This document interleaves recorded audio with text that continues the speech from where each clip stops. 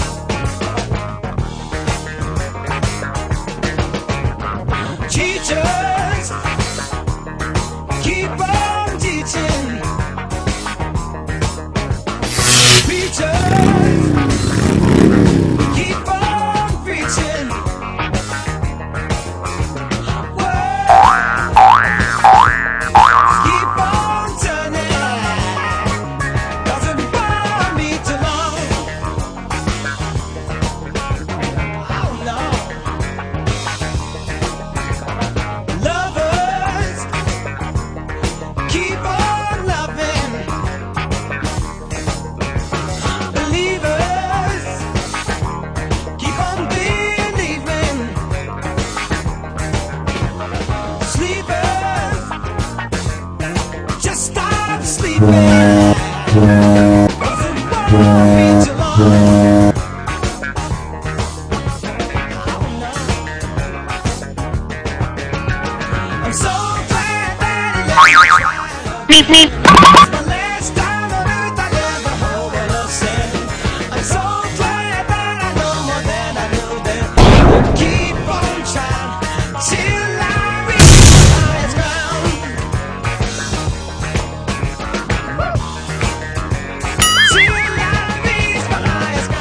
game. I felt it was a statement game, especially in district. You know, we have to make a point in district. So we're trying to come back and win district at the end of the season so we can continue on the plan.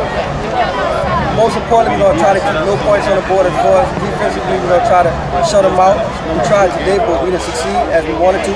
So next week, we're going to try as hard as we can to do it as best as we can to keep that goose egg on the board. Uh, we got a lot of work ahead of us. You know, we came out kind of sluggish, kind of flat. You know, some things worked our way, the ball went our way, but uh, you know, we got a long ways to go. Well, you know, we, we playing, we don't have a lot of rest. You know, we played on a Saturday. They played Friday night, you know, so we're gonna turn around and play them on Thursday. So, you know, we gotta get in, get our grind going uh, early tomorrow morning, bring the players in, and uh, just put forth a good effort uh, this Thursday coming up.